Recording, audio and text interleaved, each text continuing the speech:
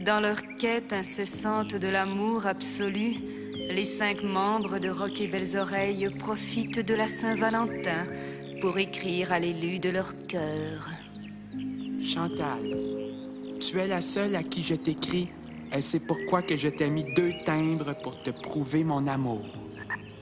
À Carole, tous ces merveilleux moments passés ensemble, comme des amants éternels, je ne peux plus m'en passer. C'est pourquoi je pars la rejoindre. Adieu.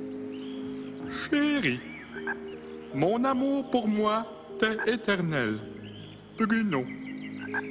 Mon amour, puisque ton anniversaire coïncide avec la Saint-Valentin, j'ai préféré ne rien te donner pour ne pas avoir l'air opportuniste. Pitou, mon cœur bat plus vite quand tu es là. C'est pourquoi le docteur fait dire de rester chez vous.